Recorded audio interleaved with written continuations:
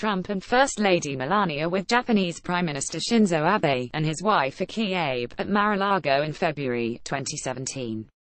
Robert Kraft, owner of the New England Patriots is seated at left. Susan Walsh AP Images President Donald Trump has owned Mar-a-Lago since the 1980s. The president visited the resort and hosted world leaders multiple times this year, earning it the nickname of the Winter White House.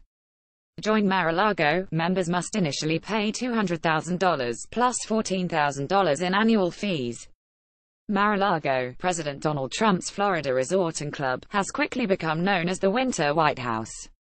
The Trumps are spending Thanksgiving at the resort, which Trump himself referred to as his Southern White House after spending several consecutive weekends there earlier this year. Mar-a-Lago became the subject of an ethical debate after the president was photographed being briefed on North Korea's missile test while hosting Japanese Prime Minister Shinzo Abe at the resort in February. Democrats in Congress have called for Trump to release lists of the dignitaries he plans to host at the Palm Beach resort, as well as a complete list of paying members, in order to resolve potential conflicts of interest. The club has not yet done so. According to the New York Times, the number of applications to join the club soared in the wake of Trump's election as president, and revenue has grown.